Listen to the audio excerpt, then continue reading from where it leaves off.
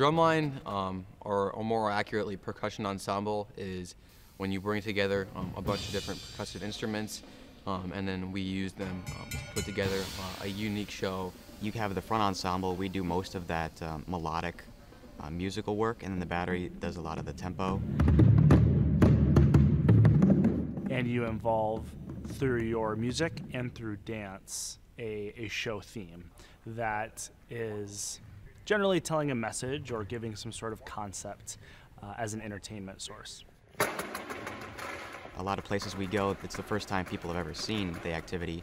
A lot of things like football, it's a nationwide event, but this is something that's a little uh, under the radar. So it's special to see people's reactions whenever we go to new places.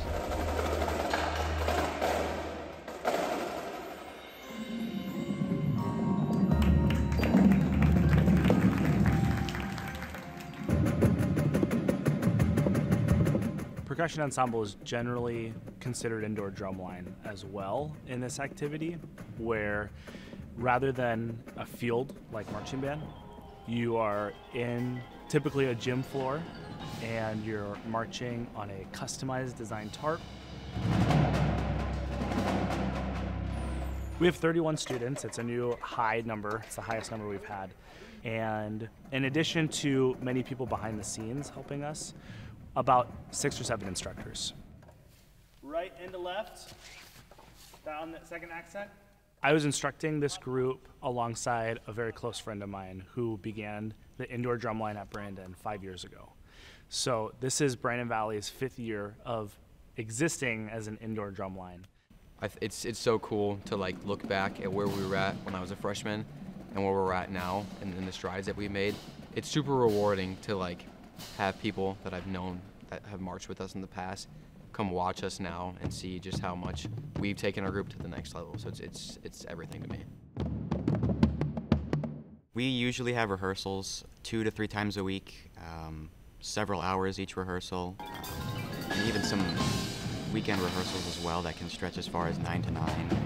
During over Christmas camp, we had uh, three days that were 9 to 9 in a row, uh, and that was focused strictly on making us a better group. I feel like it's kind of like you're representing your town and you try to do the best you can because people associate your group with uh, your name and your name with your town. It's definitely a family atmosphere. Like you'll notice that any group that's successful, any group that's making it on the national level, recognizes how important um, a well-established culture is. Once you gain those bonds and you have everyone having that buy-in, that's when you begin to get better because then at that point you're not only playing for yourself but you're playing for those around you and I think that means a lot. It would be amazing if we continued growing and we could grow into a sanctioned event within the state. Instead of taking four hour trips to get to a competition, we could rather drive 20 minutes and be there. And I think we're on our way. I think that we're making a really big statement as an organization what is possible for this activity. And I think we're making a really big statement of the benefits of musicianship and dedication with students and, and what could become. To me, it's about the friendships and the learning experience of it all. Um, I'm never going to forget a lot of the memories from a lot of the competitions we've been to, and I'm never going to forget some of the friendships I've made.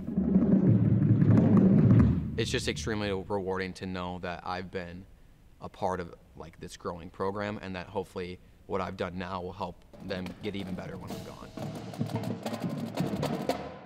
This group is really special. It's really special that despite the dedication level and the requirement of many hours, there hasn't been a single complaint. And the students are on fire and passionate about something much larger than themselves. And so for them to be able to create a show that, rather than just being an, a drumline show, is a meaningful production that says something larger than themselves, they've had a phenomenal experience becoming artists and becoming performers and growing as people.